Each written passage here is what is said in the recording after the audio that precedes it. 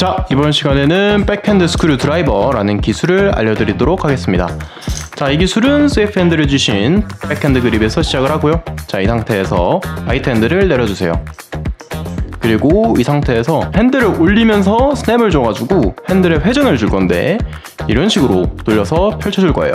자, 이게 어떻게 된 거냐면 자, 내리고 다시 bite handle을 올려주시는데 한 요 정도 올라왔을 때 손목이랑 이 손가락의 스냅을 이용해서 이런 식으로 돌려줄 건데 이게 이런 식으로 돌아가는 겁니다. 블레이드가 손목 쪽에 있었죠? 이 핸들이 회전해서 이렇게 블레이드가 손가락 쪽에 오도록 만들어주는 게 포인트입니다. 그리고 이 회전을 넣음과 동시에 이 힘을 그대로 이용해서 스냅 줘서 다시 펼쳐주는 기술이 되시겠습니다. 닫을 때도 마찬가지예요.